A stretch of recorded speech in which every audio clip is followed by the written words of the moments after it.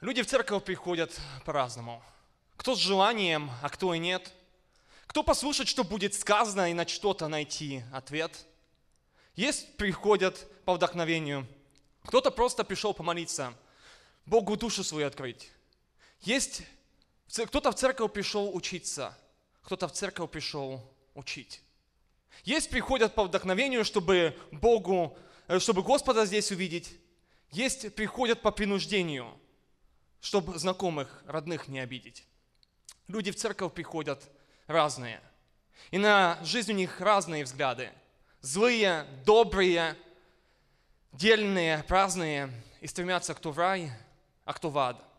В ком-то просто живет привычка. Мол, все приходят, и он идет. Для таких дом молитвы отмычкой из подвала земных забот. Есть земные, есть одинокие, пожилые и молодежь, образованные, недалекие. В церкви разных людей найдешь. Есть приходят скоростной целью.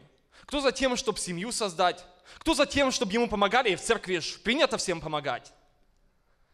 И мошенников, и аферистов всяких в церкви уже видали. Люди власти и карьеристы здесь стоять у руля желали. Были в церкви иудопредатели. Есть, наверное, они и сейчас.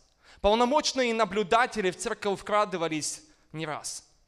Кто приносит благословение, кто-то горечь одну несет, кто-то радость, а кто преткновение. Кто-то плачет, а кто-то поет. Есть приходят по воскресеньям, чтобы какую-то дань отдать. Нет ни тяги, ни настроения, как пришли, так ушли опять. Есть духовные, есть плотские. Всякие люди в церкви есть. Есть здесь сложные, есть простые.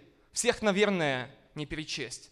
Так давайте же, друзья, проверим, с чем мы с вами сюда пришли, как мы слушаем, как мы верим, что для Господа сделать смогли. И когда мы закончим собрание и разъедемся все кто куда, дай нам, Боже, большое желание в дом молитвы стремиться всегда. Аминь.